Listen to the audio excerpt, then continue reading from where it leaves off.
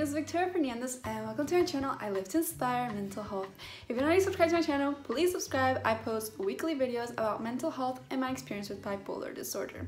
So in this week's video, I'm actually going to answer a question that I was asked um, regarding, you know, what it feels like or how do I know whenever I'm having a hypomanic episode or am I just happy. So obviously if you have bipolar disorder 2 or if you've lived with somebody who has bipolar disorder 2, you might notice that this person has different kinds of uh, like mood elevations or they act a different way and sometimes it's hard to tell if it's really because it's like genuine happiness or because we're having an episode.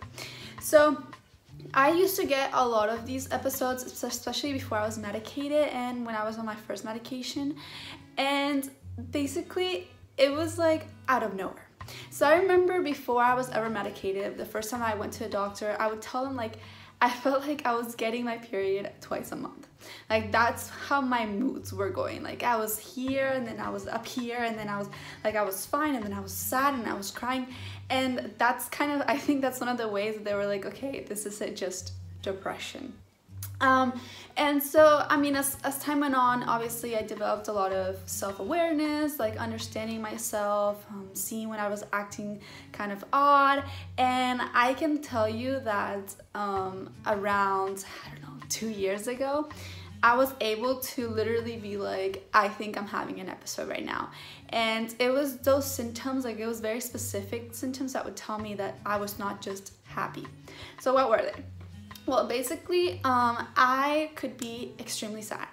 I could be like on the ground having a full out panic attack, crying, not like my face feeling completely numb.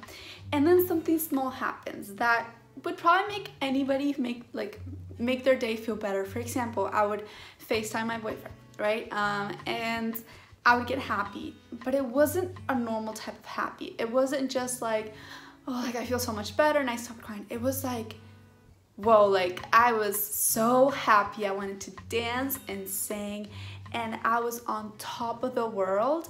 And I remember when we would hang up, I would go to my roommate and I'd be like, oh my gosh, like I can do anything. Like I'm gonna chase all my dreams. I have all these ideas.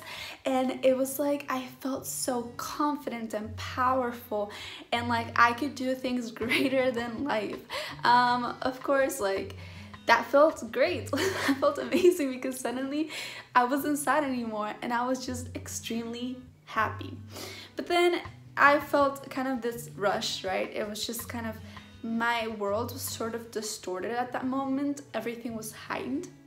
Of course, these episodes did not last very long for me.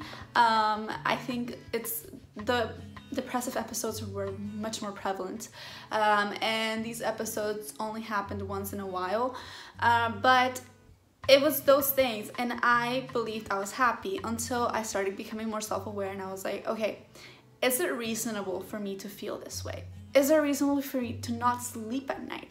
I literally could not sleep. Like I was coming up with ideas, like ideas for what maybe this YouTube channel could look like. This was way before I had even like published videos. Um, ways of helping people, things I wanted to do, like places I wanted to go around the world and I would look up pictures and like this at like 3 in the morning when I had to wake up 7 in the morning the next day for class. And then I would be falling asleep in class because I just couldn't handle it all. And so it was it, it, was it came to a point where my roommate I would tell her I think I'm having an episode and she was like yeah I think so too because it was just those things that were like I shouldn't be this happy for something so small. So whenever I, I did have this like kind of argument with myself like am I happy or am I like having these type of episodes? Same thing with sadness. Am I sad or like, did something really sad happen and therefore I'm like this? Or is it because of what I have? And that's, I think, a very difficult struggle that a lot of people probably go through because it's just like this huge identity crisis. Like, you want to know if it's okay to feel these things. You want to know if it's like, if it's something that's genuine that you're feeling and it's not the mental illness.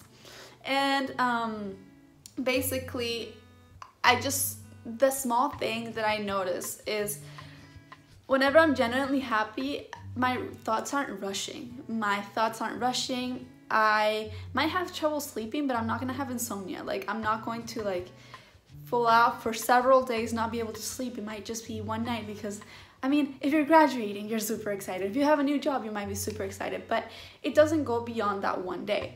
Um, or it's not anxiety, you know what I mean? Like, it's not like, oh, I'm nervous about something so I can't sleep. It's literally like idea after idea after idea after idea. Like, I could take out my phone and write so many things on it that I just I could not go to sleep until I had those things written until I, I could develop those ideas and another thing is that throughout those times again idea developing came at night literally no like during the day I wanted to sleep during the day I didn't want to do anything else I couldn't concentrate at school anything but when it came to night my mind just like flipped on and I just had all these ideas, all these things, and I wanted to tell people about it, about them so badly. Like I remember I would text my boyfriend like in the middle of the night and I'd be like, hey, like I have this amazing idea, I don't want to forget about it.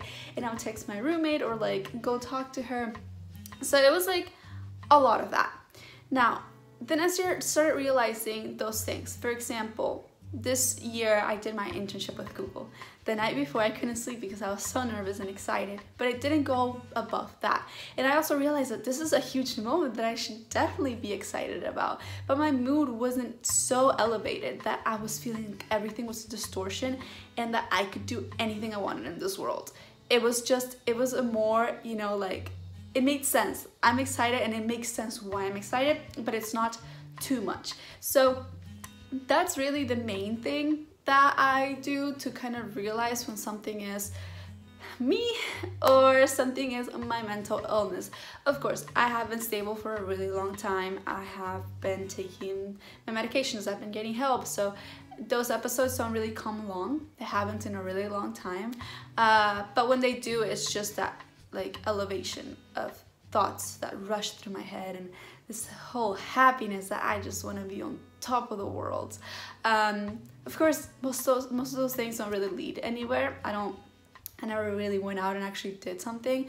Um, it probably like it was an impulse to want to do things, but and I never like put myself in danger or anything like that. So I hope this helps in some way, or at least it makes you like relate more or you know understand that like how to realize if it's like you know measurable. Why am i feeling like this? Is it too much or is it okay? Like is it fine? You know what i mean? Like self like analyze read the situation and that's gonna help you realize what's going on and if maybe you should talk to somebody about it. Also that's another thing. Ask people around you. Like my roommate got pretty good at like realizing and say my parents and my boyfriend realizing where something was just not not okay. Um, but after a while i was just fine. I became more stable. And like i said before i don't really have those episodes anymore at least not very often. So again, I hope that this video helped in some way and that you liked it. And if you did, please don't forget to like this video and please subscribe. Share this video with somebody who you might think needs to watch it and comment what you think about it, what you want me to talk about next, or any other thoughts. So with that, always remember that there's a light at the end of the tunnel and a bad day does not mean a bad life.